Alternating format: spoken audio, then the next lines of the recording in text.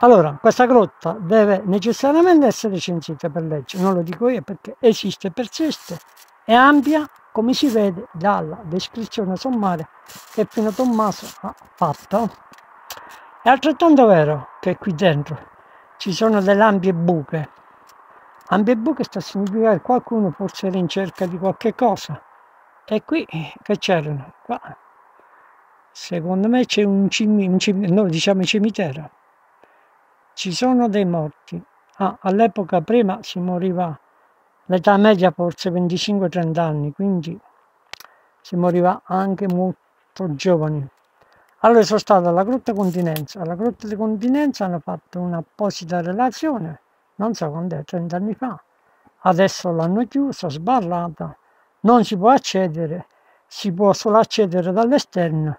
Tutto il resto della storia eh, continenza si evidenzia da, da un libro scritto appositamente, anzi all'ingresso alla Grotta Continenza c'è la cartellonistica che indica tutta la storia della Grotta Continenza.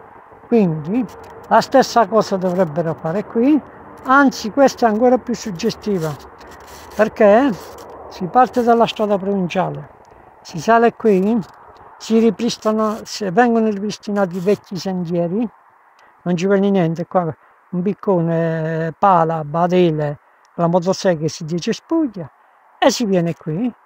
Quindi questo è il futuro turismo archeologico al comune di Luco de Marzi.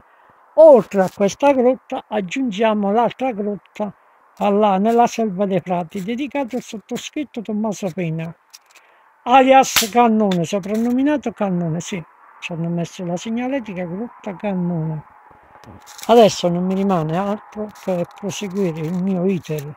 Escursionistico io conosco benissimo questa montagna perché la mia passione è fare escursione passeggiare in montagna e vado dove mi conduce l'istinto. Oh e qua che ci sta? Oh venete hanno cominciato a venire ecco pure sopra No, diciamo che c'è la ghineta. Di solito il pecchio, l'upupa, eh, tanti animali.